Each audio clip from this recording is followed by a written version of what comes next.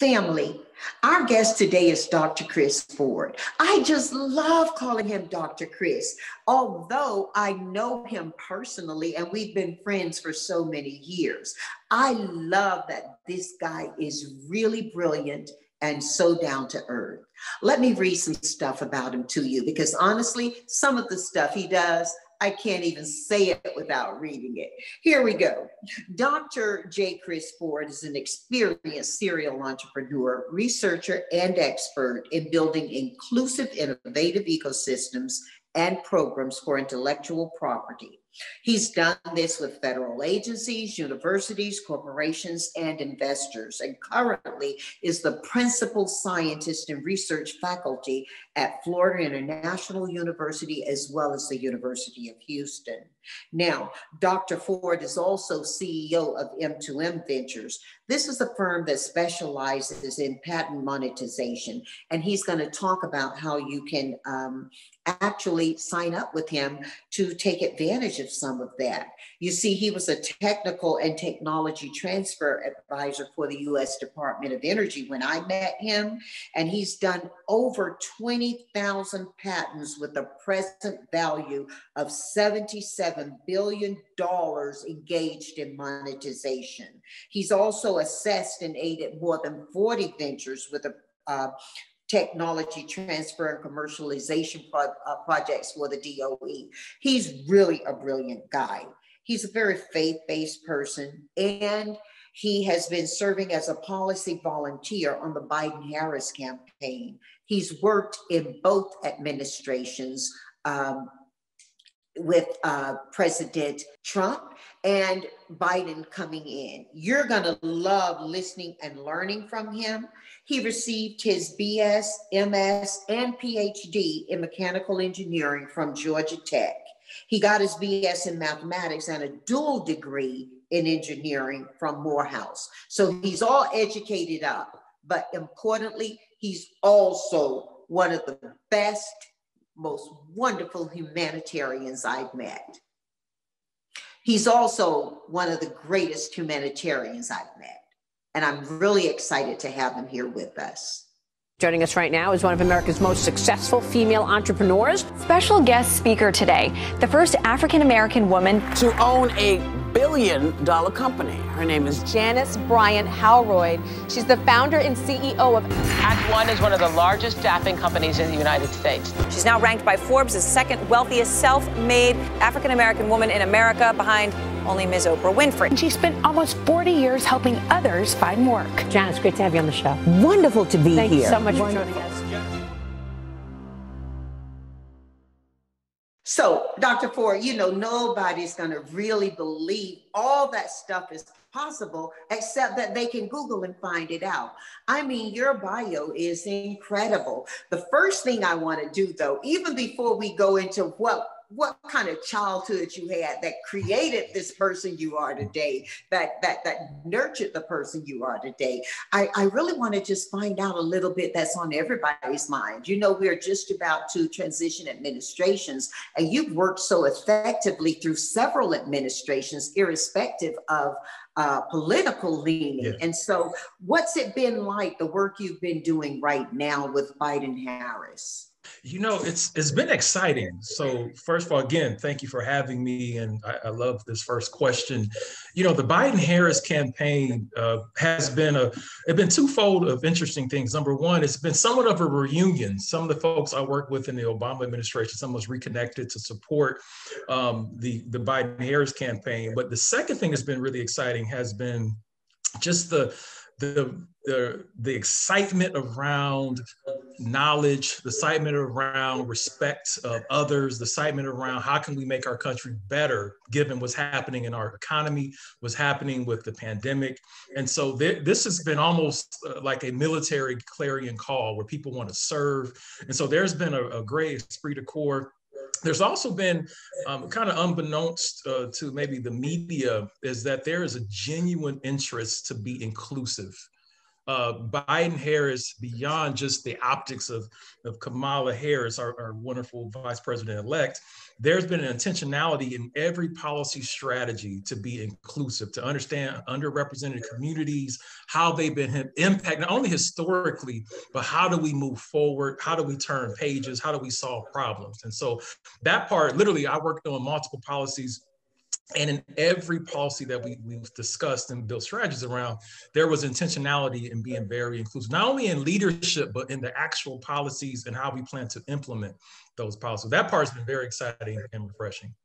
It has to be. Uh, just exactly what has your role been? You know, I just spoke uh, uh, quickly around the fact that you did offer service, but what exactly has your role been? What does that sound like to somebody who's not familiar with how these transitions occur and the yes. plan?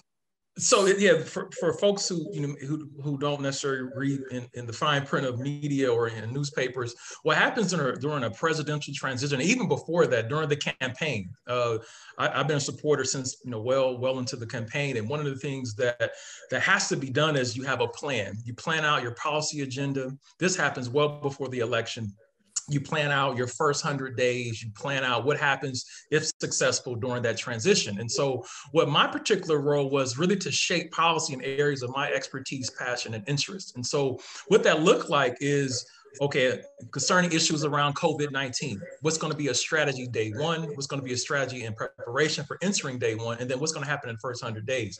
Uh, maybe a second area you may want to look at what's going to happen with the economy so what does that look like from day one, day 100? What policy things that we need to do immediately? What things do we need to do in terms of getting ready as we enter? And so from, from my particular role is to help design strategy, design policy, and then think through what stakeholders, how they're how they're impacted, what federal agencies need to be communicated with. What does that look like from a from a Capitol Hill standpoint, our legislative branch? And so all these things are embedded into a very sophisticated system. If, if folk may not realize this, uh, the president elect has to hire probably about 4,000 people and so those 4,000 people have to actually fit into a very sophisticated plan from policy to working with the Hill to working with the executive branch, all those cabinet members that have been announced here over the last couple of weeks. All that is very well thought out hundreds upon hundreds of people are are implement are part of the implementation strategy. Well, you know, I'm in the uh, workforce business, so hiring 4,000 people uh, isn't as overwhelming to me. But what is amazing is the amount of time you have to do that within. So certainly some of that shadow planning has occurred before you know whether or not you won an election. Um, and what's that big book called? There's a big book that I forget the name of that actually has all 4,000 of those positions in it that have to be hired for. So um, if you can't remember, I'll certainly share it with folks. I, your your guess is as good as mine. I just know there. I know the office that is responsible. That there's a, a presidential uh, HR office um, that is responsible for that. I am not familiar with the book. You got me on that one. So. And I know also that people can apply online if they want yes. to serve in an administration. And because I have friends from across the political spectrum, I know that many of my friends, regardless of whether they're Republican, Democrat, or you know even uh, uh, um, not committed or to a particular party are applying for service right now. There's just something about the season that uh, we're in in a global uh, environment that people want to uh, help us with. Do you now? You are a scientist. Yes. Um, you are also a man of faith. So maybe before I go into further, the uh, the way people can serve in the administration, I want to talk about how you served in your life. Um, tell us who Dr. Chris Ford is. Talk a little bit about growing up. We want to know the little boy before he became the man in front of us. Well, well, first, I would say if you're gonna know me now, and I even even growing up, I am. I love Jesus. Jesus Christ is my Lord and Savior. It's not just about a Sunday thing; it's an everyday thing. It's an interpersonal thing. It's how I treat people. Uh, I don't. I don't need to be able to announce that I'm a Christian. I, I would like to have left an impression that you will at least qu- have a, a query of understanding who I am as a person and know there's a love and genuine love. But as a as a person growing up in Ohio, very humble beginnings uh, from Akron, Ohio. Uh, growing up in, in Ohio, those who may remember, uh, there is a, uh, it's called the rubber town, rubber capital of the world. And growing up, I would smell rubber and bread. And so there was a there was a um, a, a bread factory right in the smack downtown of Akron, Ohio. And so for me, that the smell of science and industry was in the air, but also the smell of bread. And so those who have a, a Christian or, or Judeo-Christian faith, that smelled like manna. So there was things that I would smell. Literally, there was something magical about science, things magical about how do you make the world better. And so growing up, my parents, um, who have both of my, my heroes in my life in terms of planting seeds, uh, my father, who God rest his soul just recently passed, uh, was a very, very um, creative man, an artist. Uh, could, he could was untrained, um, uh, amazing artist, could draw, paint, anything he could see. He was very creative. My mother was a very calculating person. I get all of my reasoning, analytical skills from her, the, my memory skills from her, the ability to create things in reality as an entrepreneur, I get from my father. And so growing up in Ohio, where it was a lot of poverty, my parents were not college educated, um, but they put so much love and faith. I, I never was told I couldn't do anything. Uh, my mom, my parents, just my mom had one rule. Uh, I, if I started something, I had to finish. I was not allowed to quit. and so with this, so being in those very impoverished environment, um, I was able to dream and imagine. My first dream as a child was to, to be an astronaut. Um, if, for those who may remember the Challenger explosion there in 1986. I was in kindergarten, and um, there was a, a, woman on that, Judy Resnik, who was on that flight, who was from Akron, Ohio. She was a Firestone High School alum. And I remember reading about her and was so excited that she was from my hometown and she was so brilliant that she was able to make that flight. Unfortunately, obviously, she passed but I was inspired by that. Maybe it sounds strange, seeing the explosion somehow inspired me to want to be an astronaut. And I eventually did end up working at NASA for a period. and so, um, but that that inquisitiveness, um, being able to imagine um, something that's not even there despite your surroundings. I, I, grew up very much an optimist, still am an optimist and believe, you know, as, as a man of faith, I do believe I can do all things through Christ Jesus who strengthens me. And so my parents put that in me and then just create an environment. They didn't let poverty, they didn't let lack. They just put books in front of me. Uh, my, my background has a bunch of books in it right now because I love to read. But my parents put the love of reading and searching and letting knowledge be at your fingertips. You, my dad had a had a quote. Um, you know, you know, let don't let your head use your head for more than a hat rack. And so, meaning put things in it, read. Uh, they would never, as another quick point, uh, if I would ask my, my nickname as a child was Curious George because I always would ask questions about everything. And I remember Curious George. so Curious George, a curious little monkey. So my parents would not give me the answer. They would say, go look it up. So we had multiple encyclopedias. This is before the internet, before Google. So they had multiple encyclopedias. So I would spend hours in encyclopedias. I, had, I have older siblings. And my older sister, when she went to college and she would leave her books from college home, I would sneak and, and, read her college textbook. So anyway, I just love knowledge as a kid. And so being able to imagine allowed me to do a lot of pretty cool and amazing things. And then you went off to university.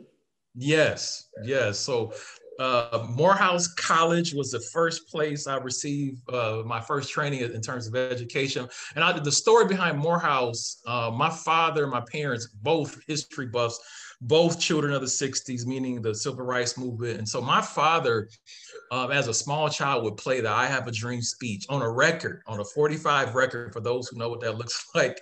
Um, um, and he would play that you know the this the the music the the, the tenor of that speech uh, and also outside of my bedroom as a child my dad had a sculpture uh, of martin luther king outside my bedroom so i had all these images of of more of morehouse and martin luther king jr who was a morehouse alum and so I had a vision probably in the middle of high school that I wanted to go to a historically black college university. Uh, I knew I was going to go to college to eventually become an engineer, but I wanted to go to a black college. And so I did a tour in high school um, and uh, went to a number of historically black college universities. And something when I got to Atlanta and saw the history and the mystique of, of Morehouse, uh, I just I had to figure out a way to get to Morehouse. So by the grace of God, I ended up winning um, a, a, Ronnie McNair scholarship. Ronnie McNair, who was a North Carolina North Carolina A&T.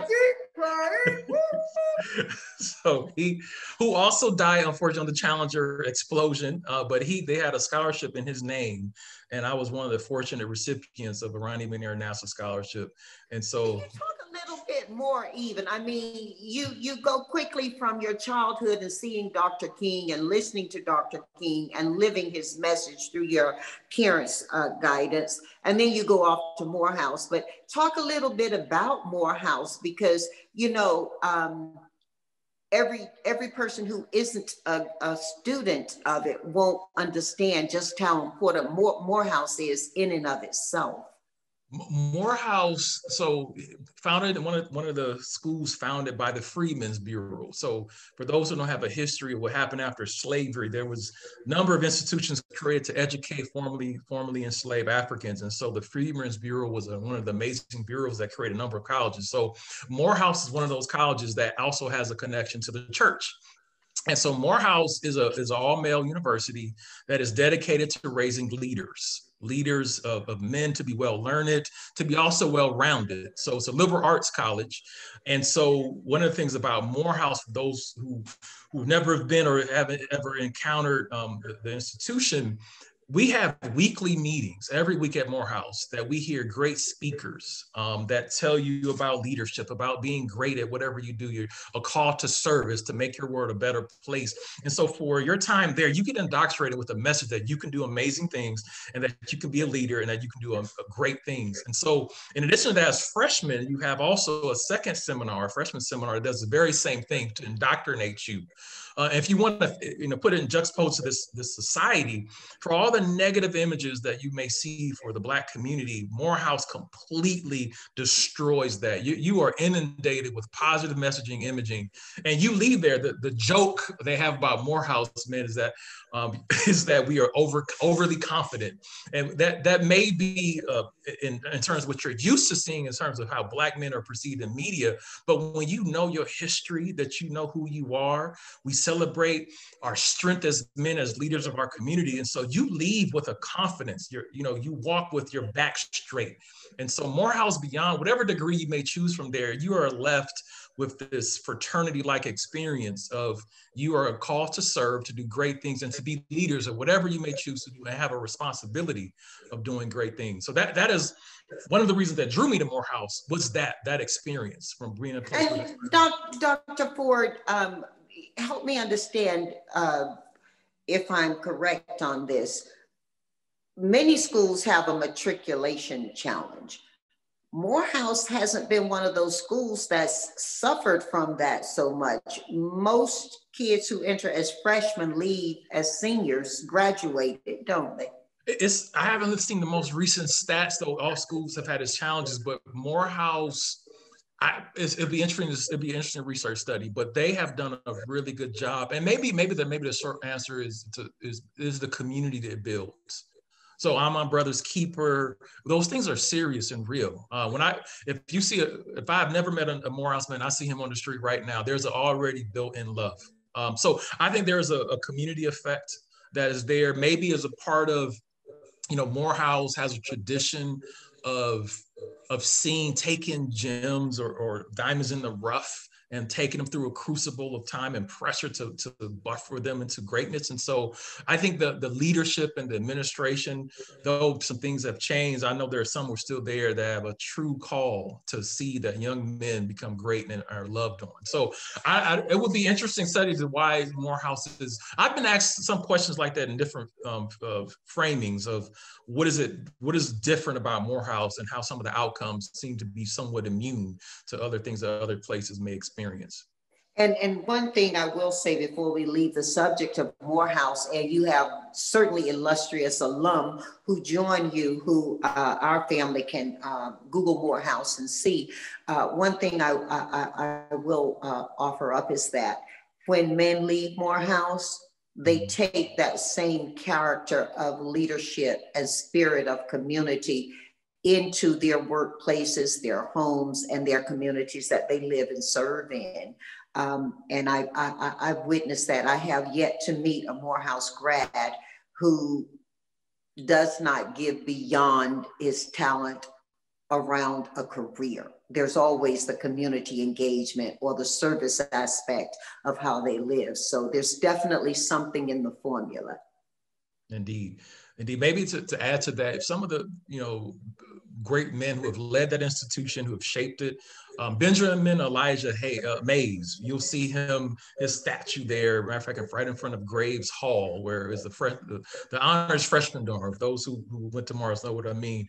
Uh, but some of his quotes, uh, he was the mentor of Dr. King one of the great leaders of the institution and, and embedded into Dr. King, embedded into the institution, this notion of service that we we are to aim high, um, we are to aim uh, expansively, but we are to make sure that our community is better, that we are our brother's keeper, that we care about how we leave things better than we found it. Well, you've certainly done that. I think you are really an illustrious alum, and I I'm sure uh, your parents had years of joy you know, knowing knowing the uh, knowing the direction you were going. Let's talk a little bit, though, Dr. Chris, about how you blend uh, this idea of science and faith together. I know my mom has often said to us, the more I see science, the more I know God.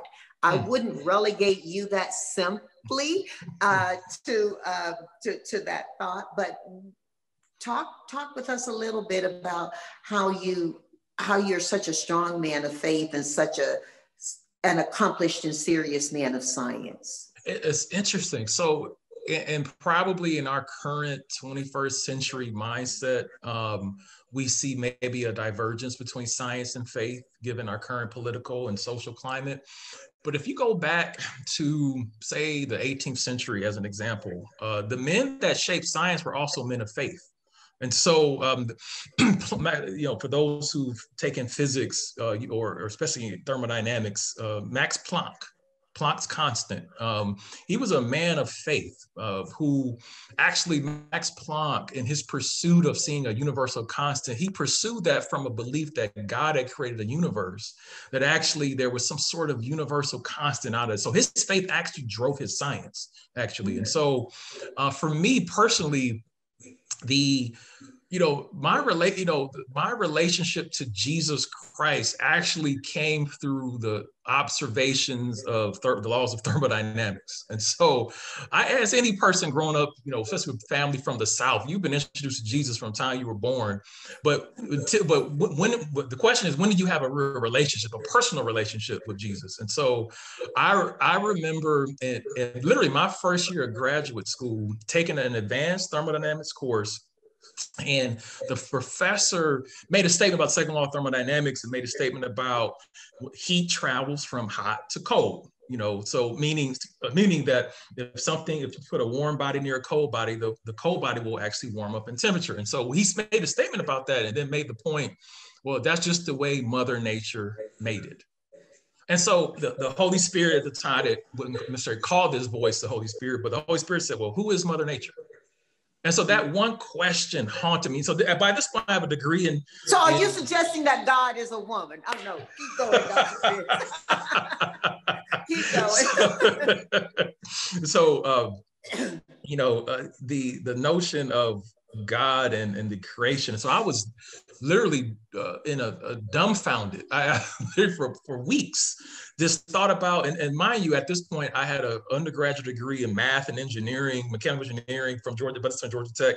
And i can understand the laws. I can write out all the equations. And so um, I end up right now looked at the equations and from my interpretation of laws of thermodynamics, I concluded there had to be some entity that destroyed all the chaos and what we would call entropy in, in engineering, there had to be some entity that had to be to, to balance the equation. And so for me, that entity's name is Jesus. And so the the the the, the I had this moment. I was uh, started to have a faith discussion through the lens of science. And so you were I, at Georgia Tech then. I was at Georgia Tech then in grad school, my first year of grad school. And okay. so God spoke to me through the laws of thermodynamics. And then I had to, you know, I had all these notions about God that caused me to want to study the Bible, not just be at church and reading the scripture along with the pastor, but I wanted to study it and learn it for my own self. And so I convinced myself of the existence of Jesus Christ, first from a framework of science, and then confirmed it in, in, the, in the scriptures. And so it was a, a so for me, there's a, a, a, a natural marriage between faith and, and, God, and I can see I can see Jesus Christ in the laws of thermodynamics. So wow, wow. Um, let me ask you a couple of questions. One being, as you are a follower of Christ, many of my friends I've met have a great respect for Christ, even if they're not Christian, regardless of their faith relationship. And my friends tend to have faith relationships. Um, regardless of their faith relationship, they respect that Jesus was a man on earth. Yes. And had some really cool ideas. Mm-hmm. Um, how do you how do you place your faith in Christ and being a Christian alongside, I'm sure, the many people of faith you meet who are not Christian or those who are absent a religious relationship? You know, it's a. I, I look at God and, my faith in Jesus Christ. Now, I, I'm convinced of the scriptures that you know those who want to, to receive God and, and receive heaven come through Christ now, that journey to get to there looks different for, for it's, it's as infinite of many ways as we have a uniqueness of our own fingerprints. I think there's a unique path that we all come to our relationship with God, and if it's His will for us to have relationship with Jesus Christ. And so, my my encounter with the faith, I'll tell you a story in grad school that sums up really nicely. There was a, a Muslim gentleman um, who was a who we shared an office um, in grad school, a devout Muslim, and um, one day, you know, we had a, this very conversation about. He said he respected, you know, the people of the book, and he talked about respecting Jesus as a prophet, and he shared on his faith about Muhammad. And so one day he invited me during Ramadan to one of their break their breaking of their fast. So I went to his local um, you know his, his, local mosque, fellowship with him, shared faith, and and so we shared food. And then a, a, few weeks later, or a few days later, I should say, we then had more conversations about faith. And so he I hit me fellowshipping with him did not dilute my faith in Jesus Christ. It actually we exchanged. I talked about Abraham, how his lineage leads to eventually leads to um, the, the Muslim faith, and how I'm a I'm a child of Jesus Christ. And so he marveled at my convictions about Jesus Christ and my love of Jesus Christ. And, and to be frank, um, we got to one point in our this in our discussion, it was never hostile at all, very loving and, and, and kind, where the issue of the cross, it's the issue of the cross, and we talked about sin and the remission of sin at that point, that's where there was a divergence. I said, I believe my sins are, are paid for by the work that Jesus did on the cross. And I'm convinced of it. That, that is the gospel. That is the good news. And so that is where there's a divergence. He doesn't believe in the resurrection. I believe in the resurrection. And so it's okay to believe. And I'll say this way as a, as a people of, of love and family, in families, we can have disagreements, but still be in love. And so we lovingly disagreed, but that didn't change how I loved him or treated him or how he treated me. We just, as, as family members, we decided to have a disagreement, to agree to disagree. But I didn't disrespect him. And similarly, those who made of other faiths or don't have a faith, as my call as a Christian and I'm my, my conviction and com- being convinced of the gospel is to love and let Jesus, because the revelation of God happens how God wants it to happen. It's not by what man does. You know, the Bible says some plant, some water, but God gives the increase. So it's not my job to convince anyone, but to love them, share my faith and, and trueness and authenticity, and let God be God, and whatever whatever His will is for them will manifest. That, that's my com- conviction and confidence in Christ and His message. Well, Dr. Ford, I know so many people are listening right now and very impressed with your obvious respect for your Muslim brother and your admiration of him. Um, and I have to say, I am as well.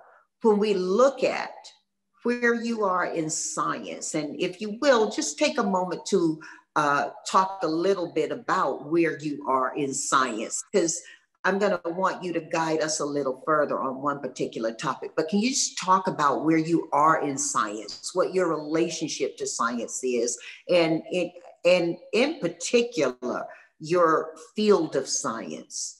Sure. So my my specific and explicit areas of expertise related to science is the area of, of energy systems, thermodynamics, and heat transfer. So my PhD was on uh, the itch, regeneration. Uh, I won't say the whole thermodynamic optimization of a planar solid oxide fuel cell. What that means is um, taking the laws of energy, uh, thermodynamics, and how do you design energy systems. And so that one more time to sound like a rapper. so thermodynamic optimization of planar solid oxide fuel cells. So, so what my expertise is looking at, how do you look at energy systems? How do you optimize them? How do you elucidate optimal designs under different constraints? Now, where I sit in that, my area now of research has evolved. Uh, my secondary area is related to um, what's called technology transfer commercialization. How do you take all that amazing science and then translate it into products and services. So how do you take a fuel cell battery, as I just described, um, uh, and, and, then convert that to a business? And so there is a translation. I remember, I remember you uh, facilitating and escorting visits I had at some of the national labs. Maybe yes. you need to talk a little bit about the national labs as well. A lot of people aren't familiar with them, or even nor do they even know they exist. If as much as you're able to talk, yes, you so, did a lot of work. You did a lot of work. so the, uh, my my I did research for years for the Department of Energy, National Energy. Uh, one of the labs is the National Energy Technology Lab in Morgantown, West Virginia. I also did research for the Navy, uh, Office of Naval Research out uh, Naval under Naval under uh, Naval Underwater Warfare um, Center out in, in uh, Northeast in, in, Rhode Island. Um, and so my area was how do you design energy systems for different applications? So for Department of Energy, it was about designing futuristic power plants that use that were able to use uh, clean coal uh, technologies to, to, create new new power systems. Uh, for the Navy, uh, designing weapons that could travel longer, and so using some alternative energy systems. And so I had I spent years working for for labs, um, and then that allowed me also to understand how to create knowledge, how do you create science and products and services. And so um, I transitioned to the translation of that research into products. So I worked for the national uh, for the Department of Energy for five years, um, helping folks partake of our national lab infrastructure. We have so we have as a country about 40 federally funded research development centers across the Department of Energy, all the federal agencies. The Department of Energy, in particular, has 17 national labs, of one which I worked at. Um, and what I worked on for the Obama administration was helping businesses, helping entrepreneurs, helping universities partner with these labs to do, say, if they were interested in energy research, there's a whole energy portfolio of labs that do energy research. If you're interested in cybersecurity and technology, there's a whole portfolio of labs that do cybersecurity related research. And how do you, can you partner with them, learn about that research, and then can you figure out a pathway to commercialize that research? And so one of the biggest and it problems, goes everywhere from oil and gas to thermal to anything that uh, basically uses an atom in energy, doesn't it? it that's, exactly. So the amazing thing about, um, say, for the Department of Energy specifically, it's not just energy. Um, so it can be all forms of energy, alternative oil and gas, as mentioned, but it does material research around materials, uh, technology, information technology systems, cyber, biotech.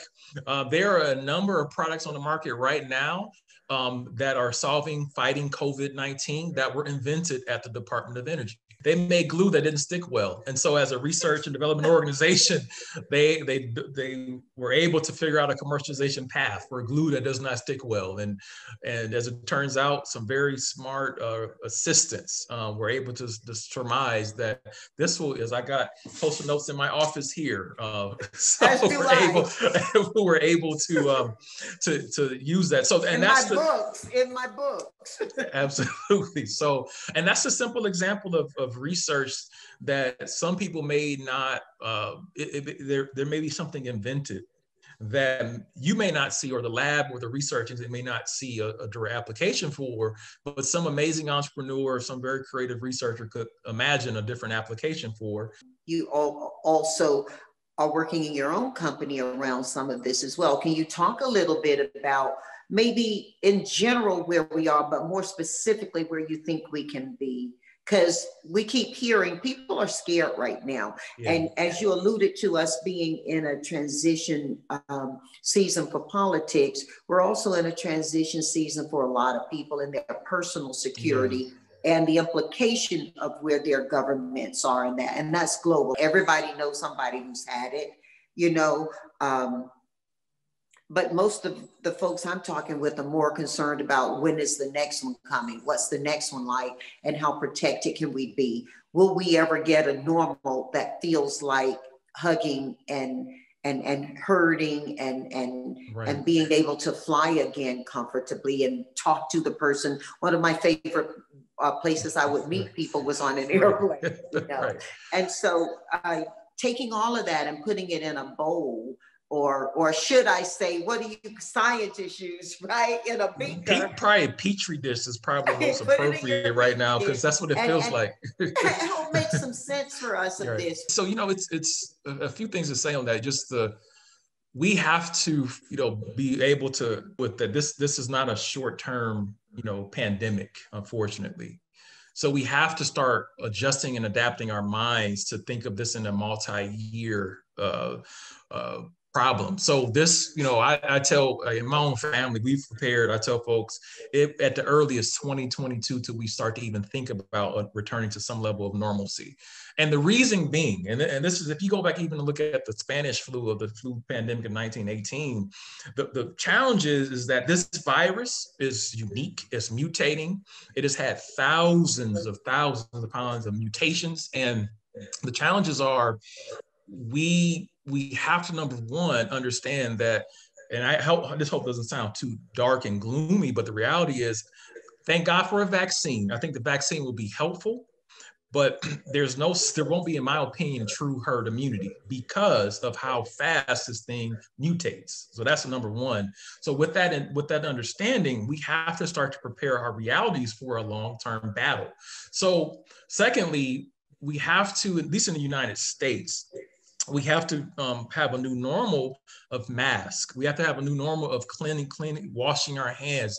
We have to adapt of until we see more accessibility of testing, till we have a better understanding of we, this, this is important to scientists. We still are learning about this virus. It's only been not even a year in the United States, technically 12 months, you know, if you want to look at it from its time in China.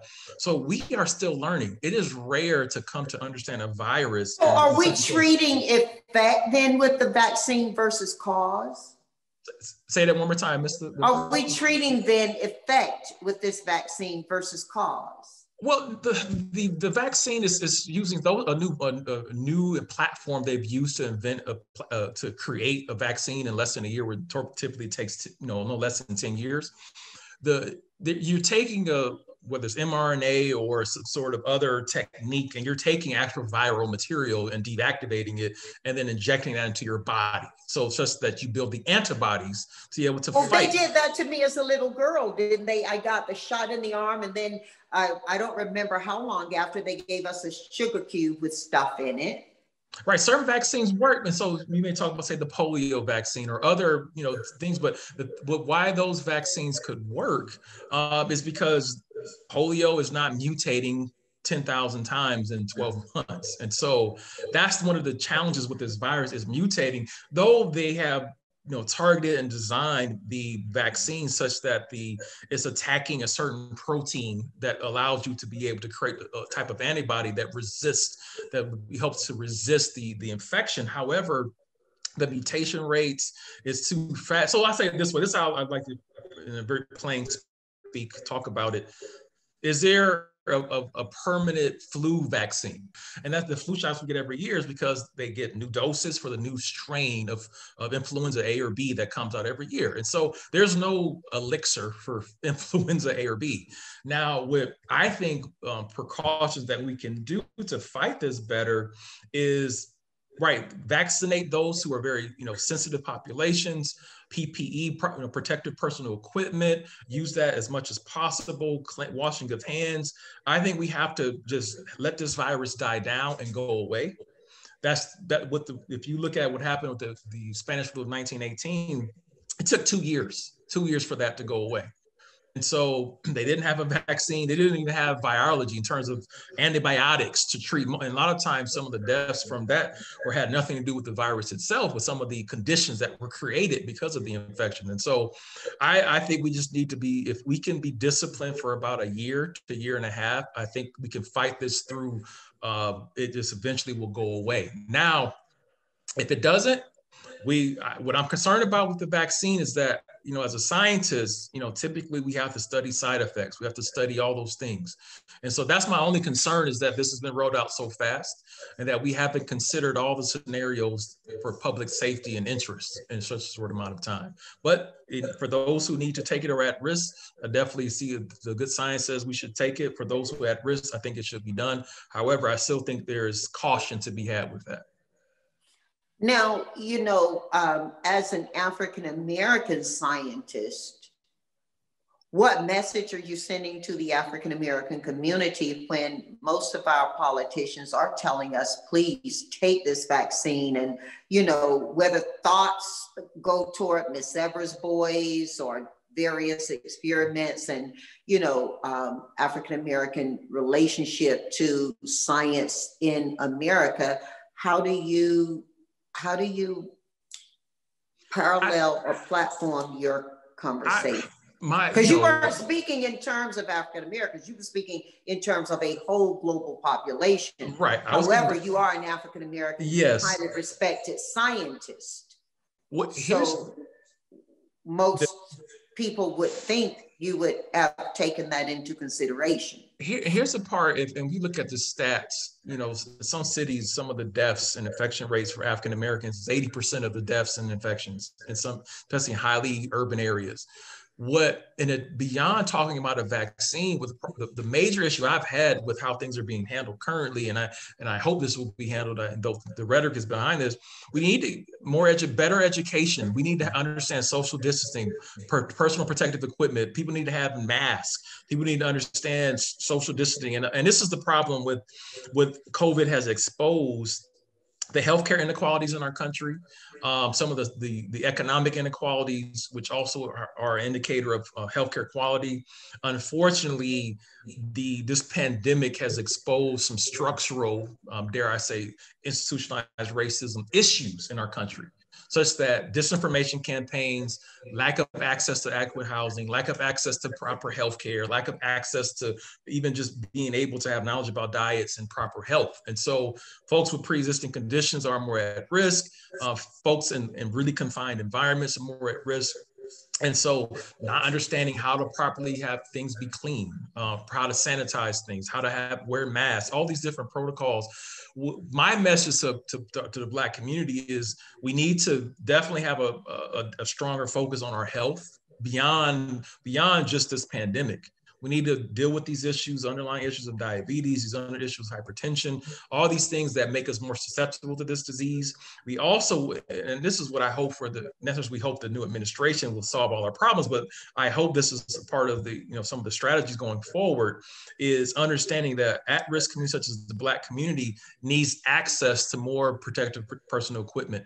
We need access to better health care they you know and people don't realize it's it's going to take at least a year before even under ideal circumstances for a vaccine to be rolled out to the entire population. So in that time you have to do all these other measures. So proper education on social distancing proper access to healthcare proper access to mask and equipment. All those things need to be supported by the government. So that's what my message is. is I, I tell my family, you know, to social distance as much as you can. Uh, be wise about um, how you're gathering. Um, be wise about how you're taking care of yourself. Be wise. What does it look like in your home getting food products or those things that you used to shop for that you consider essential?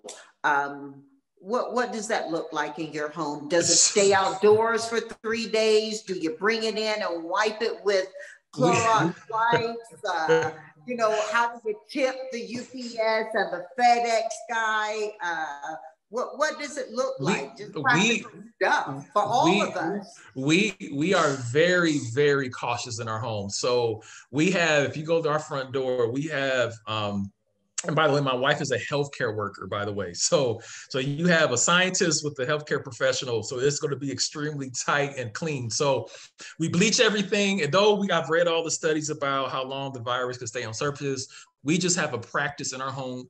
We have sanitation wipes. We wipe down everything in our home that comes in. Everything is everything that comes out is touched with bleach or a sanitation wipe. Um, we uh, unbag everything outside, um, clean it before it comes in. Um, hand, hand washing when we go outside, uh, whether we run an errand, we come back in, we immediately take a shower. Um, our clothes go immediately into a, you know, our, our, our, laundry room. And within a day, they must be washed. So we have practices and protocols in our home that everything must be clean.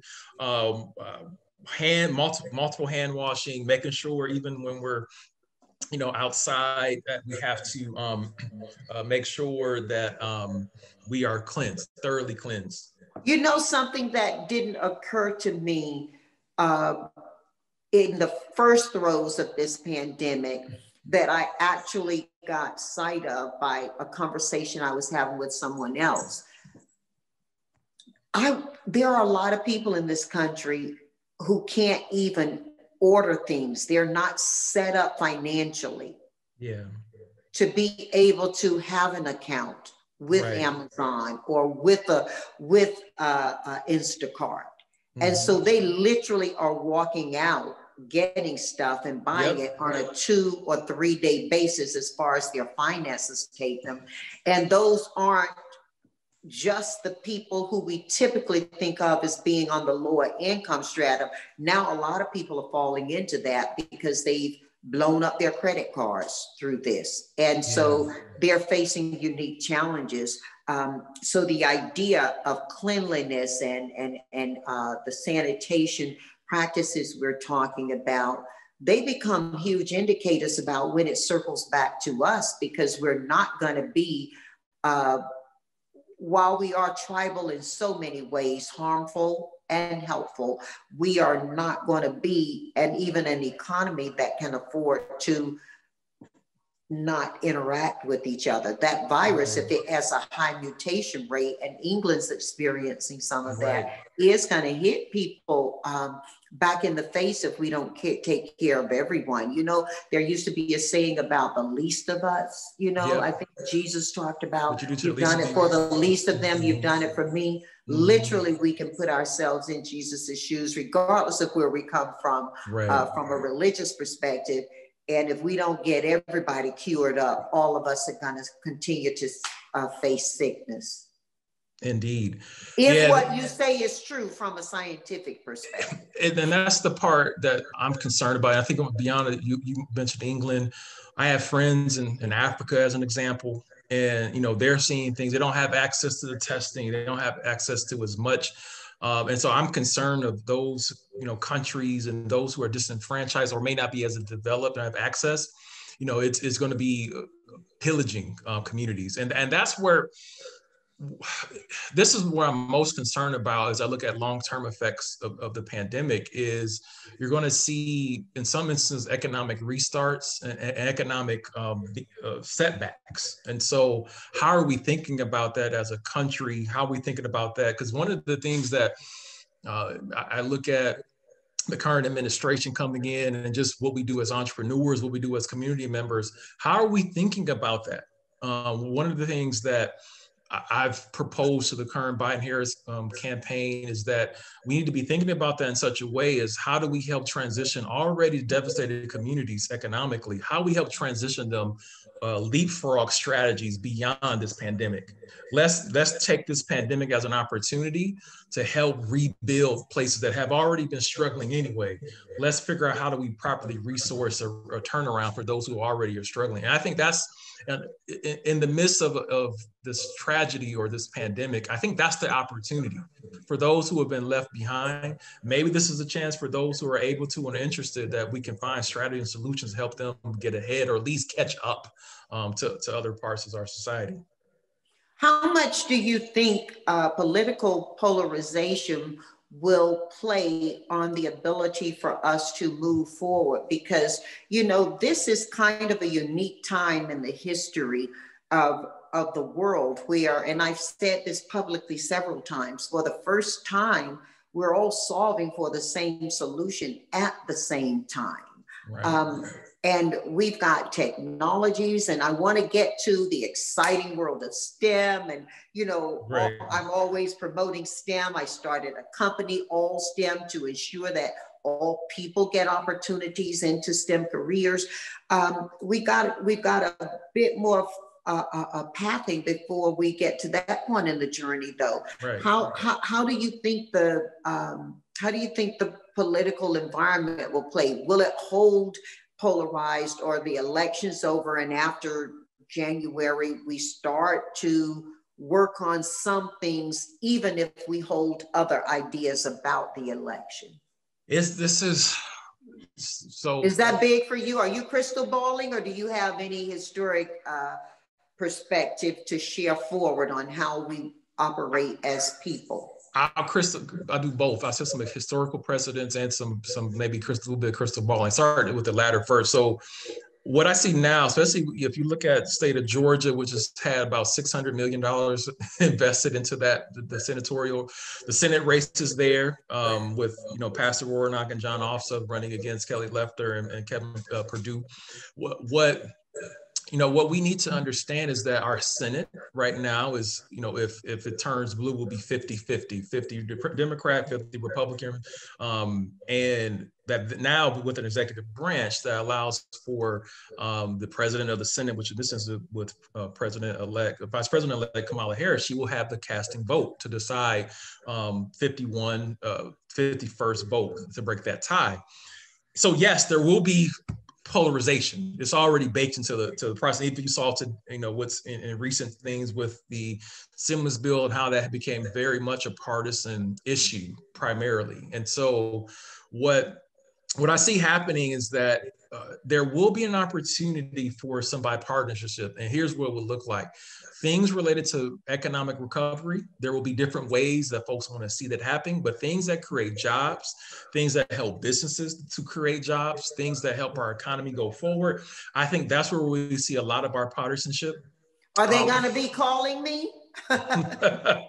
well, well, they should, and I, I will hope they will, and I hope that they will call folks like us who see, like you know, though I've worked in democratically facing administrations, I I actually see things very much in a very centrist, very middle of the road, bipartisanship manner, meaning I believe in entrepreneurship and capitalism. I believe in job creation. That's a both Democratic and Republican ethos. And so what what we will see, I think that's where things will, will find bipartisanship issues. Now, the polarization will start because it's politics. Right now, we just our, our politics becoming more and more polarized.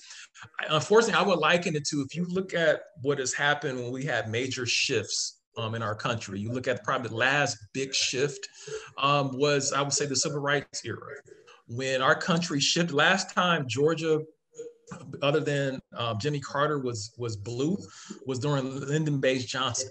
And so when, when the great, the, the Southern Compromise for the Civil Rights um, Act, that was the last time when the South was Democrat and so it was, it was democratic facing. And so what's going to happen now is that history has told us that there's a particular segment of the republican party that used to be what's called dixiecrats uh, within the democratic party that's now turned conservative. That polarization is going to stay the same. And this is part we don't understand about um, our, how polarized we actually are. There are factions within the democratic party that excuse me within the republican party used to be democratic and so there are factions that were there within the Democratic Party that's now Republican. And so what people don't understand is that it's about the game of politics. So it's not about red or blue, it's about who has power and who doesn't. And how and what are the and what are the mechanisms by which that, that power is had. So I'll give you an example. Maybe my, my crystal ball is that those very conservative Democrats will be very powerful Um, there's a few, there's a few as an example in, in, Appalachia that I think will be powerful. There will be few um, who are out west who have who are who are Democrats with very conservative values. They will be very powerful, and as you align with them to get things done or their strategies, I think you'll be very successful. The, the other side of it is, and this is important for those um, who are in positions to affect change we can't put all of our success of our future on the backs of the government. We have to understand how we work with government to affect change. One of the biggest problems that I would say for the Black community specifically, which you know I know best and well, um, is that we have oftentimes looked to the government to solve our problems, or we have put too much faith in the government to solve our problems, where we need to understand how we work with government, how we utilize government to solve problems. And that's where we have to, whether you're a Democrat or Republican, you have to understand what is the role of government in solving the problems you care about, and how do you partner with them? How do you leverage them? How do you leverage your local policymakers? How do you leverage your, your, your national uh, uh, executive branch members. That's where you know uh, I encourage folks to a- analyze their own personal civics, how they understand local government, national government, and what it means to the problems that you care about. So, is some of your uh, faith-based teach them how to fish uh, creeping into your ideas around the importance of uh, creating self sustainability within a political system? Yes, yes. And to maybe give add to that phrasing, we teach them how to fish and then maybe give them either a grant for some to get some fish to start with and some bait to, to get a boat and to build so that then they can they have been trained on how to fish. They can get a head starting and subsidizing some of that early risk to build a, a, in this example a business that can go go out there and fish. And that's where um, for disenfranchised communities such as the black community the, some of the the underserved communities they understanding how do you be taught to fish and then how do you get some resources to subsidize that initial risk and that's the part that's been missing especially for a lot of black entrepreneurs is that initial risk capital those initial risk resources are scarce and hard to come by but if you got an entrepreneur who can be taught how to fish in this example and then get some resources to get a boat and to get some fishing reels and to get some bait so they can get started then they won't need you know have a thriving uh, you know, a fishing business conglomerate in a few years. So that's that's what I'm advocating for. Well, listen, you, I mean, you've taught faith, science, business, government. We're in a real time right now where everybody's got all of that out loud differently than before, huh? Yes, yes. The, and it maybe does it take a little bit of all of that together to help us move forward? I, here's, I think we're going through a, a political inflection point right now. And I think in the United States, we have to ask ourselves, and this is a valid question we should always ask ourselves when we vote. If I'm voting for a Republican Party member or a, a Democratic Party, what does it mean to be a Republican? What does it mean to be a Democrat? And who I'm voting for, why am I voting for them? You know, what, what values do I ascribe in this in casting this vote? I think right now, I think that as an example, the Democratic Party um, needs to be a party that that re reimagines how it talks about faith, that reimagines how it talks about business. You know, there's rhetoric that says Democrats demonize successful entrepreneurship. And so they need to reimagine that conversation and then have a policy framework, which I've supported and, and helped craft policy framework to do these things. But to, to have a policy framework that supports entrepreneurship, that supports um, helping to pick my brother up when when my brother has fallen, and, and and doing such a way that you're not having them be dependent upon you as a federal government, but teaching you such that you could be self-sufficient. So it's about a policy framework and a messaging that needs to change.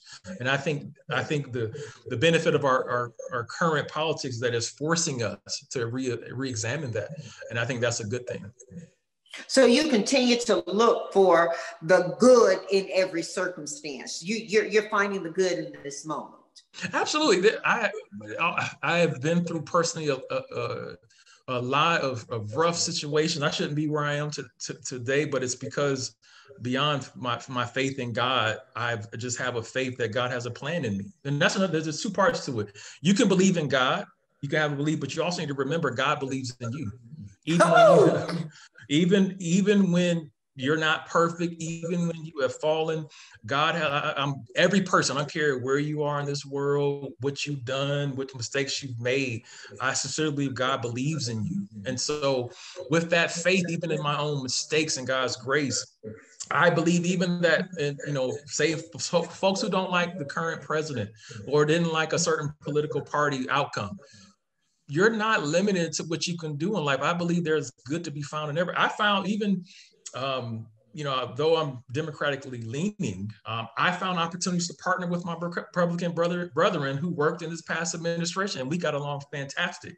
And mm-hmm. so I found I look. You have to look for the good to maybe maybe to, to tweak what you said, Miss Janice. Is we have to be seeking and looking for the good.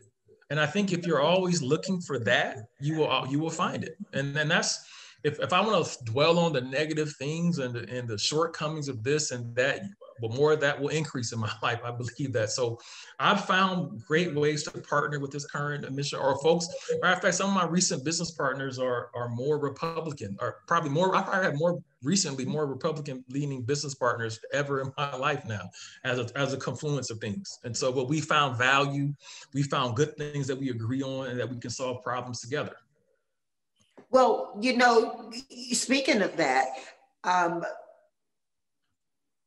as we look at it, science is going to be incredible in helping us through this pandemic. Uh, whether we go to that science based from faith or not, one thing we do know is that we're going to have to create more scientists. And when we look at STEM, yes. science, technology, engineering, and math, what's your rally call that young people consider this now and um, across across their ethnicities, gender. We need everybody in this, don't we? We we don't have just just cold hard facts. We don't have enough white folks who dominate, you know, white males in particular who dominate the STEM field. We don't have enough of them to to fulfill the needs of jobs, to fulfill the needs of of of businesses to be created, faculty positions to be filled, positions in in um, whether in, in you mean when field. we count population? Yes, doesn't add up to enough people to fill the jobs. No, it doesn't add up whatsoever. And we, we and another thing is that science, and this is one of the things I love about science and why all people at all you know races and creeds need to get involved in STEM and, and as a science is science is always contextualized by your personal experience. And sometimes people forget about that. Sometimes even when we talk about STEM, we we we sometimes de we you know we dehuman it a bit. Meaning, uh, when I used to when I taught um, at, at the university level or when I tutor folks in whether it's science, math, or science, I always make an effort to contextualize it to them personally if you can contextualize it personally, um, it would allow you to imagine solutions and strategies. So, as an example, you know, some of the challenges that we faced in health, I'll give you an example that's really passionate to my heart. There's a lot of of, of healthcare and, and uh, reproductive health issues in the African American uh, women community. A lot of issues with reproductive health um, some of the challenges and why we don't see more research being done in that area is because we don't see more and more African American women becoming scientists about, you know, biomedical engineers and, and, physicians in these areas to do research in that. And so we need everyone to solve all these different problems that we have in, in terms of a contextual framework. Another opportunity, and this is probably one I talk about most about STEM, is We've done as a country a pretty good job about STEM education, not great, but okay job. Uh, the greatest opportunity is actually STEM entrepreneurship.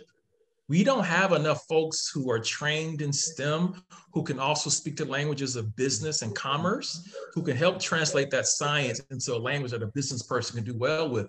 That is by far the, the, the greatest opportunity for, for those who maybe don't want to spend their lifetime in the lab, they can have multiple career paths having a STEM foundation and can do very, very well. And so that's that's where my message is now. That's what's the short, the shortest, the greatest opportunity is. Wow. Uh, you know, I'm loving hearing that because when I look at many of the people who we work with through my company um, uh, as candidates, as applicants, you know, over 70% of them have their own uh, websites and no, no company attached to it. But there's definitely the idea of branding in there mm-hmm. or, or, or, or of their imprint. Right. On, on, on, on an outcome. So that, that's a big message. I think, I, I hope everybody's really listening to that and can, can think about it in a, in an intentional way, not just ideologically. I, I may give some examples, and those these are white male examples. Um, Elon Musk, who's in the news quite often, um, you know, his background is, is obviously STEM, but his passions is for business.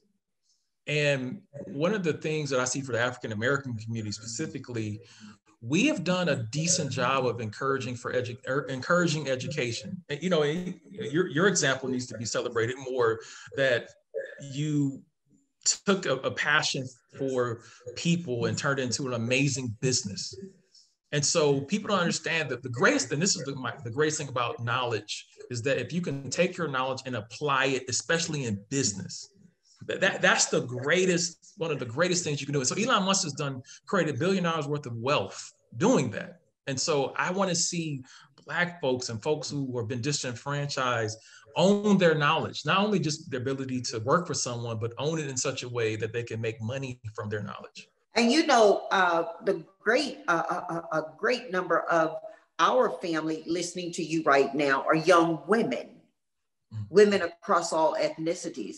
This is a huge uh, opportunity for women if we listen and then act on your ideas around STEM entrepreneurship for us to solve a lot of the other things that we look at.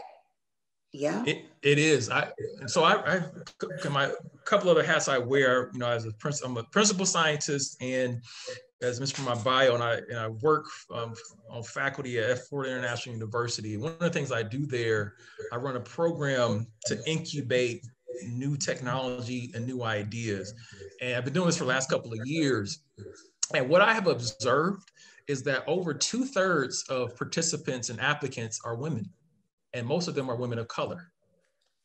and the thing I have observed from and just observing them is that they're just obviously they're just as brilliant. Okay, there's plenty of uh, there's matter of fact one of my favorite points I, I raised with them is that women have shown to be better investors um, than men, um, more, much more uh, successful at managing things. And so, why not take that expertise? If you can figure out a way to invest money and manage it superior to others, why can't you apply that to running a STEM a STEM type of business? And so, I, I am very encouraged um, for the future. And I think the future is women of color in entrepreneurship. The stats are, are speaking to that in terms of education rates, um, the proclivity to entrepreneurship, and so that is very exciting. And so the things I run with with my incubator program is that we teach them how to start a STEM STEM based um, business around intellectual properties and patents they can get from the government.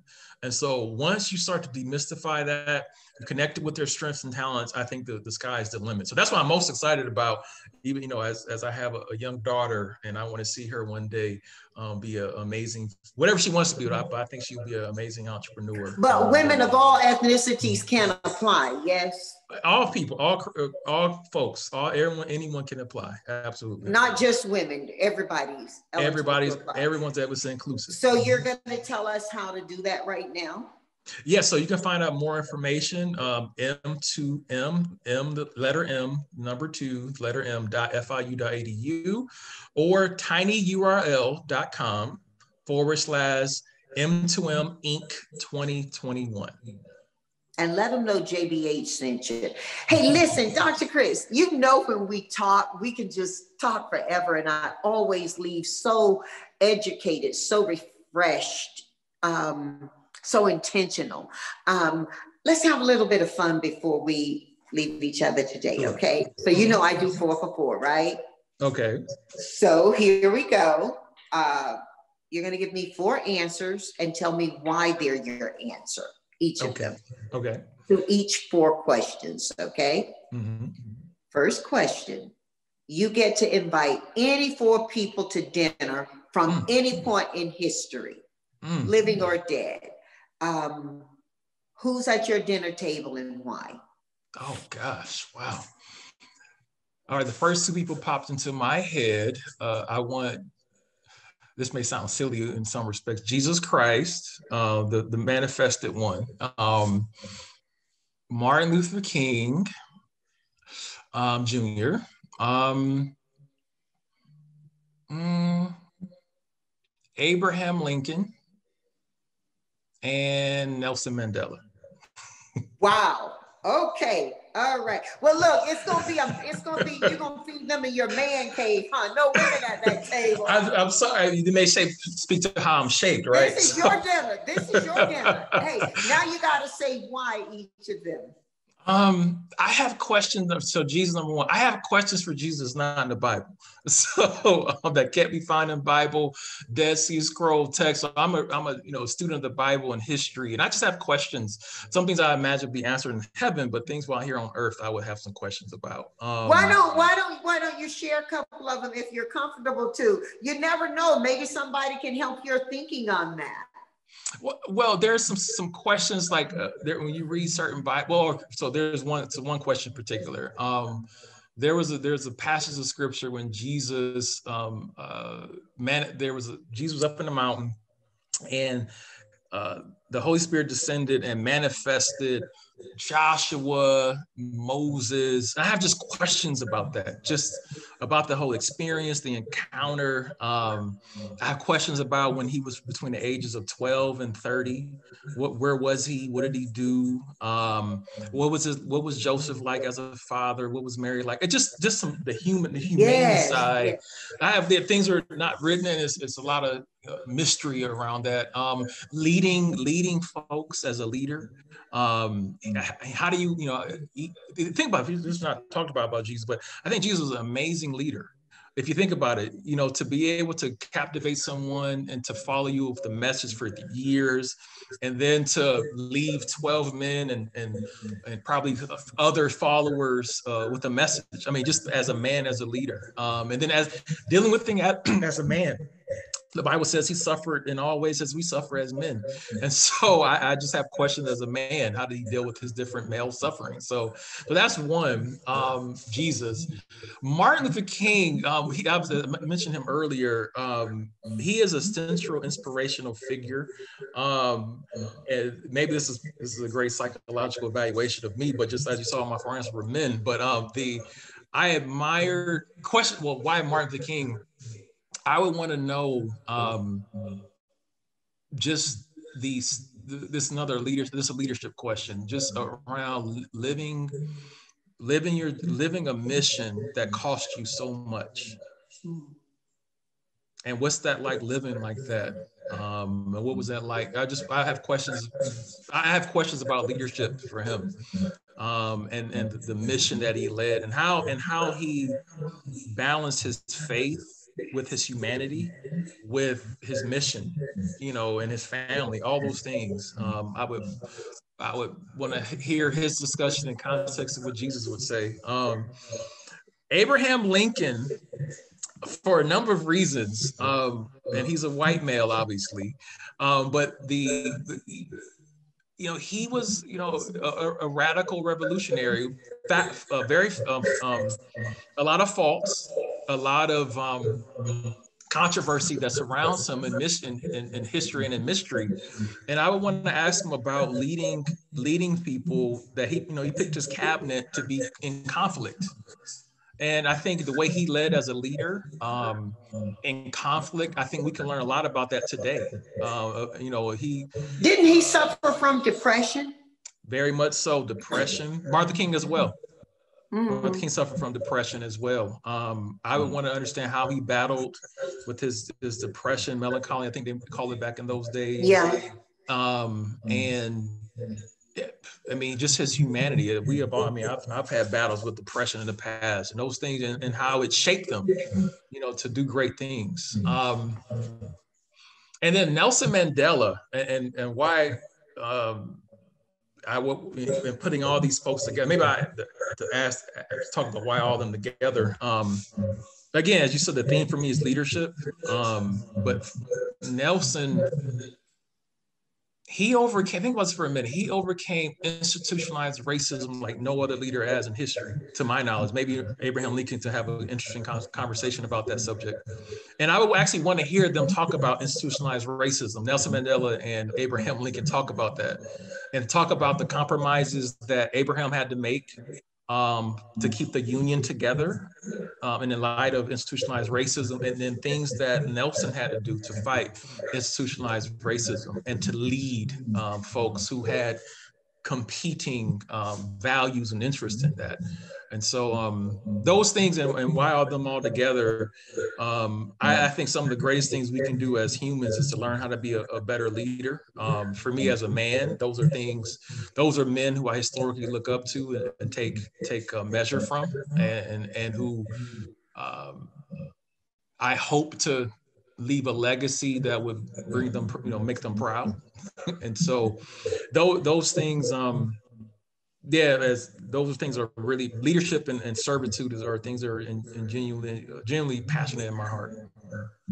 Wow. Uh, well, you know what? I have to give you five people at that dinner because I want to come. I want to get some of that conversation too. And, and you're invited. That's you're invited.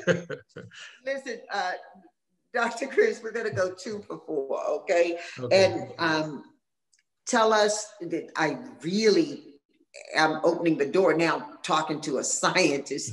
tell us what you're reading right now. What four books are you reading, and um, what you recommend to us to read? Mm, okay. All right. Well, I hate to say it this way. The Bible I'm reading uh, right now, but I'm gonna tell you why. Um, okay. So. Um, you know, you should, if not daily, you should have a weekly basis to be filling yourself up with Holy Scripture. And, and that wisdom and the holiness of that word, it keeps me grounded. Um, it keeps me, um, you know, and one I'll even get a little more specific. I'm reading right now the book of Genesis, even even deeper, and reading things about the mystery of of, of, of humanity in terms of how we work together as husband and wife and being a father and all those things. And, and what does that mean to me? What are the wisdoms of that? Um, so that's one. Um, I'm reading this book and I have to pull up the name. It's a new book. Um, it's on my phone. Um, it's there was a study done by um, the Atlanta. It's now called the Atlanta Business League, but it's a book written that um, studies African at, at, the turn of the 20th century. Um, mm-hmm. It was a study done on Black businesses. It's a fascinating book. So. Um, uh, W.E.B. Du Bois was a part of it. was an amazing list of folks who put together this chronicle of the state of Black business at the turn of the 20th century. It's a fascinating, um, and uh, it's a, really a report on it, and it's a fascinating read uh, right now. Um, I'm thoroughly, thoroughly enjoying it. Um, a couple other books at the four, I guess the four most recent probably things that I'm reading uh, this may sound silly because I'm a parent, um, but I'm reading a, ch- a children's um, book, uh, Bible to my daughter. and so, um, why I, bring I bring that up is it's important to you know whatever your faith is i think it's one of the best things you can share with your children and your family is faith. And so um, we if not daily but you know frequently we go through um, a children's bible together and she's able to articulate her faith better so as a, as a father that that makes me most excited. Um, and then probably the last one i'll share that i'm, I'm reading um, there's a, a, book that talks about, and I'm sorry, I'm bad with names. I just know, I just remember the information. Um, I'm studying right now um, new economies, and so it's it's a study of, and I I don't have it on this office with me right now. I'm looking to see if it's not here some other. It looks at is written by MIT professors um, who have who are analyzing um, the new economy. What does it mean with techno- the confluence of technology? And I'll have to maybe I'll send you a link and you can add this to, to this later.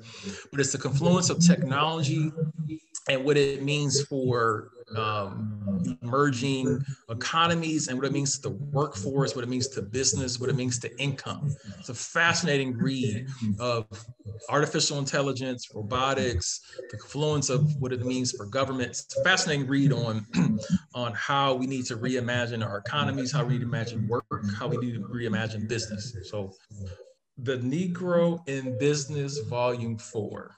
Oh, wow. Okay. All right. So, are these four books also books you recommend to our family to read? I'll tell you if, if i can find the other one. So, I actually, for, for those who are African American, it's interesting.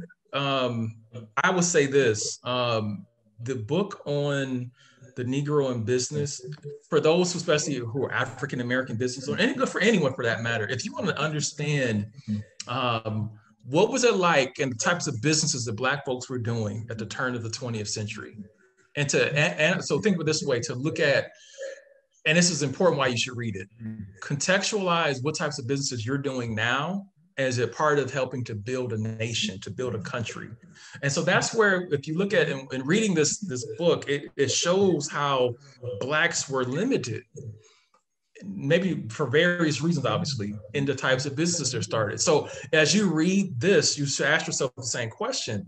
Is the business that I'm doing, why am I doing this business or why am I considering this business? And is this the best business that can be best, most profitable for my skill sets my network and those who I can be in business with. So that is a you, you, you know, Dr. Chris, so many of my friends are white and want to uh, be educated and informed and engaged in the lives and the the opportunities and the struggles of their black friends and so I'm really glad that you recommend it for everybody to read because I think it'll put some context to where their Black friends are now for our white friends to read these books too.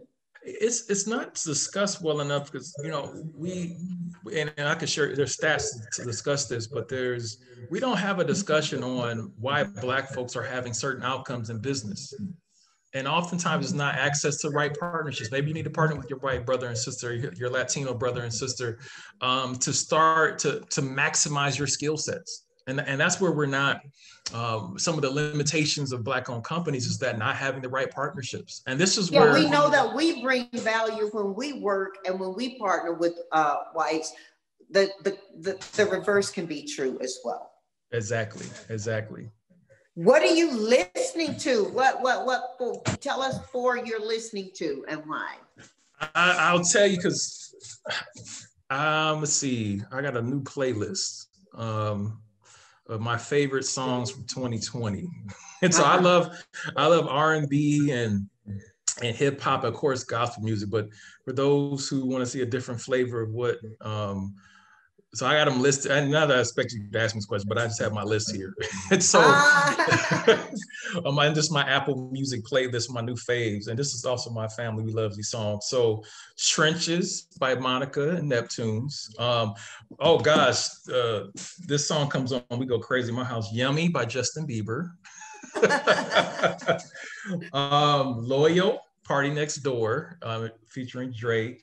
And then um, this is I don't care, Ed Sheeran and, and Justin Bieber. So those oh, Ed Sheeran, yeah, yeah. I, I used to cry to his song, uh, the one "Will You Love Me When I'm 70." Oh my God, I used to uh, cry to that song.